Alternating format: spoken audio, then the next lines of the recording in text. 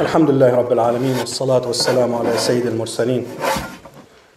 Today we were reading Surah Al-A'raf. Surah Al-A'raf chapter 7, it denotes the constant struggle between the truth and falsehood, good and evil, from the time of Adam until the end of time. That's what we have to expect in this life. There is always fight between good and evil. The surah gives us many stories of prophets and their people. In uh, verse 64, uh, talking about the Sayyidina Nuh, which we were uh, discussing in the, the fourth in the fourth rak'ah. فكذبوه فأنجيناه والذين معه في الفلك وأغرقنا الذين كذبوا بآياتنا إنهم كانوا قوما عمين. But they denied him, denied Prophet Noah. So we saved him and those who were with him in the ship, and we drowned those who denied our signs. Indeed, they were a blind people. And then talking about Prophet Hud in verse 72. فأنجيناه والذين معه برحمة منا وقطعنا دابر الذين كذبوا بآياتنا وما كانوا مؤمنين. So we saved him, meaning Hud, and those with him by mercy from us, and we eliminated those who denied our signs, and they were not at all believers. So the ones who defied Allah and His messengers were destroyed. The ones who were saved, وَالَّذِينَ آمَنُوا مَعْهُ They were firmly with their prophet.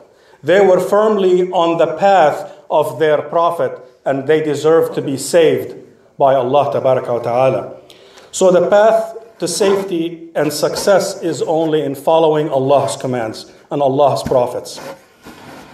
See, these are two groups. You have the groups that were saved and the groups that were destroyed. But on the, you know, the, the, the chapter gives us the image from the beginning of creation of man, talking the story about Adam and Eve, and then it goes to the end of life and talking about the day of judgment. So there is a third group between those two. And uh, the surah addresses believers who were not decisive, that third group. They were not decisive in taking a positive role in the events around them. They were, you know, negative, they were on the sidelines, they didn't care what happened. They mixed good things with bad things. So they were not good and they were not bad. They were in the middle. So in verse 44, when I'm talking about the, the, the two groups, the main groups, ونادى أصحاب الجنة أصحاب النار أن قد وجدنا ما وعدنا ربنا حقا فهل وجدتم ما وعد ربكم حقا قالوا نعم فأذن مؤذن بينهم اللعنة الله, اللعنة الله على الظالمين And the companions of paradise will call out to the companions of the fire. They can see each other. We have already found what our Lord promised us to be true. Have you found what your Lord promised you to be true? They will say yes. Then an announcer will announce among them, The curse of Allah shall be upon the wrongdoers. There are many shades of gray in, in this life, but on, in the hereafter, there's only, there's only two, two groups. There is the believers who will go to heaven, and there's the, the, the wrongdoers who will go to hell. And the next verse calls وَبَيْنَهُمَا hijab. Between those two groups, there is, a, there is a partition. And that partition has mercy on the side of the believers and torment on the side of the wrongdoers. They can see each other. The good, the believers will see what's going to happen to the wrongdoers to increase their, their, their happiness. And the wrongdoers will see what the believers are enjoying to increase in their torment. But there's a third, there's a third group that is on the uh, Araf. وعلى الأعراف رجالا يعرفون كلا بسيماهم ونادوا أصحاب الجنة أن سلام عليكم لم يدخلوها وهم يطمعون And between them will be a partition. And on, on its elevations are men who recognize all by their mark. And they will call out to the companions of paradise, Peace be upon you. They have not yet entered it, but they long intensely. وإذا صرفت أبصارهم تلقاء أصحاب النار قالوا ربنا لا تجعلنا مع القوم الظالمين And when their eyes are turned towards the companions of the fire, they say, Our Lord, do not place us with the wrongdoing people. Al-Araf are heights between heaven and hell. So there were people on it. And those people can see the people lined up to go to heaven. They haven't entered it yet. لم يدخلوها وما يطمعون. They wanted so bad, but they, you know, they were on their way there. They were not there yet. And they can see the people who are heading to hellfire. They knew each, each group with their marks. So these people on that heights, they were people, they were believing people, but their good deeds and bad deeds were equal. Not enough to put them to take them to heaven, and not enough to end, have them end up in hellfire. So they were put on these heights for Allah to decide their, you know, to decide their fate later. And what a horrible situation to be in. They're sitting there, they have no idea what's going to happen to them. Who in their right mind wants to put themselves in a situation like that? To be where they don't know is the next word going to be enter hellfire or enter heaven? We do not want to be on that, in that situation. And these were people who failed to be decisive in this life. They saw evil around them, they didn't take a stand.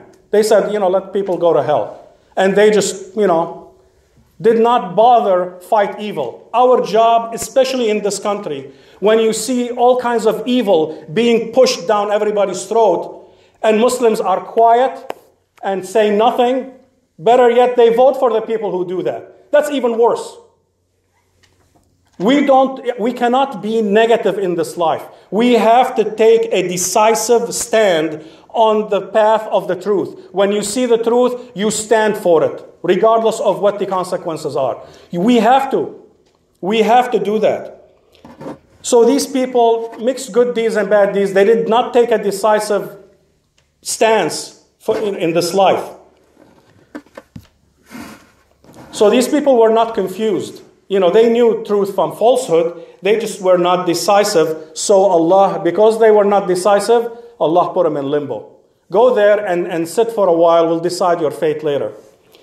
So these people are, are in very precarious situation. And anybody who thinks it's not their job to, to, to promote good and fight evil, it's everybody's job. You do it to the best of your ability. You do it, you know. Allah will protect you. When you stand for what is, what is right, Allah will protect you. So there are hadith that says that these people eventually will be admitted to heaven, but who wants to put themselves in that situation where you're, you have no idea what's going to happen? In this life, we have to be decisive on the side of the truth. When you see good, right, and wrong, go on the side of right. Don't be in the middle. It's like, yeah, with, you know, wishy-washy. Do not be there. Do not, you do not want to enter into, into the, the hereafter and be placed on the Araf. That is not a good position to be in. So we must all strive to enter heaven with the group that's, that knows they're, they're going in there. We want our good deeds to, to outweigh whatever bad deeds we may do. And we will do bad deeds. We have to make sure we do more good deeds. We, we come closer to Allah. So Allah will, will by His grace, will, will tell us, enter heaven. I don't have, I, you, don't, you don't need to be, there's no hisab, enter heaven. That's, that's the ideal. That's the ideal situation. When you judge yourself in this life and you judge it harshly, that's how Allah ta'ala will, will ease your, you, you know, your audit. But if you just go through this life and you know you're just like eh you know whatever whatever whatever you don't you don't judge yourself and you don't care right from wrong then the, the hisab is going to be very tough so we have to make sure that we take a decisive stand on, on the you know on, on the side of right and don't you know don't kind of be in the gray area. Don't be good at home and then you go to work and you're dealing with usury. Don't you know don't be good in, in public but bad in private or vice versa. We, we have to be decisive on the side of on the, on the side of the truth because the end of the road is either heaven or hell and there is no third option